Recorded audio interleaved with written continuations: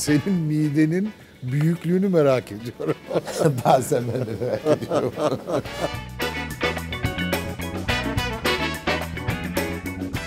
Danaylar koyunu karıştırıyorlar. ya ne yapıyorlarsa yapıyorlar da çok lezzetli yapıyorlar.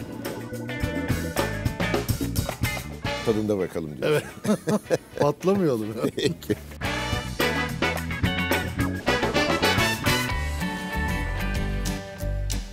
Görevimiz yemek. Cumartesi Bean Gurme'de.